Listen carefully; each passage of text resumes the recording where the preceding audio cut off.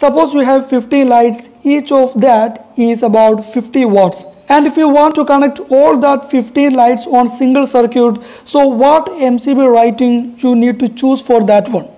I'm electrical engineer. Please don't skip this video because you are going to get a deep knowledge about this one. And here the total watts of this circuit will be 50 lights into 50 watts. So 750 watts. So I need to calculate the current for this circuit. So I is equal to P by V cos theta. It is the single phase power equation.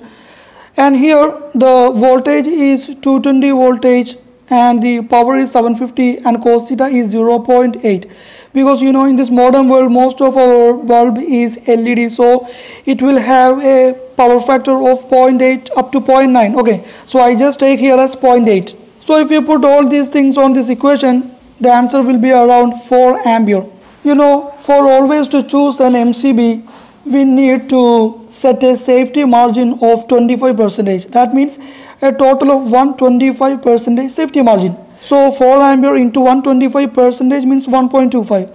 So the answer will be around 5 ampere. So we need to select an MCB of 5 ampere but in the market the 5 ampere MCB will not be available. So you need to choose the next higher size. So from the market you need to choose the 6 ampere rating. But before purchasing this 6 ampere MCB you need to understand the standard that exists on your country.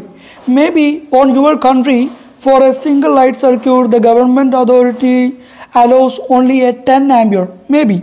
Okay, in some countries, it's like that. So in such case, what you need to do is just purchase an MCB of 10 ampere and connect on your circuit. Suppose it is our case, your calculation is 6 ampere and your country standard is 10 ampere and for the approval, if you put the 6 ampere MCB on your document, the government will not give the approval for you.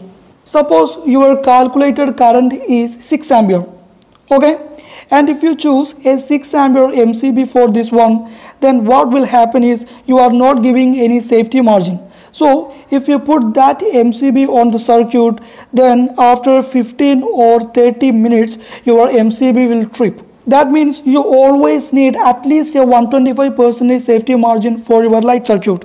You know, always the MCB comes with these curves B, C, D, Z, K. So which curve you will choose for your light circuit?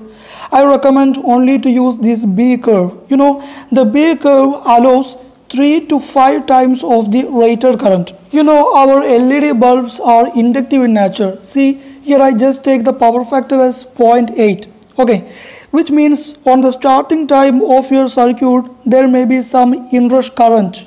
On that inrush current, we don't want our MCB trips you know this inrush current may be 1.2 or 1.5 times just like that. But here for the B curve it is 3 to 5 times. It will allow 3 to 5 times of the inrush current. So uh, this B curve is enough for our light circuit. Don't purchase the C curve because this C curve allow 5 to 10 times. We actually does not require this much capacity. We only require this one. So don't waste your money by purchasing this C curve. Suppose you have light circuits with this mercury lamp LED sodium vapor lamp with 500 watts or 1000 watts just like that then you need to choose the curves because it may have high inrush current on the starting of the circuit. For the light circuits in our home we just need this B curve it's enough.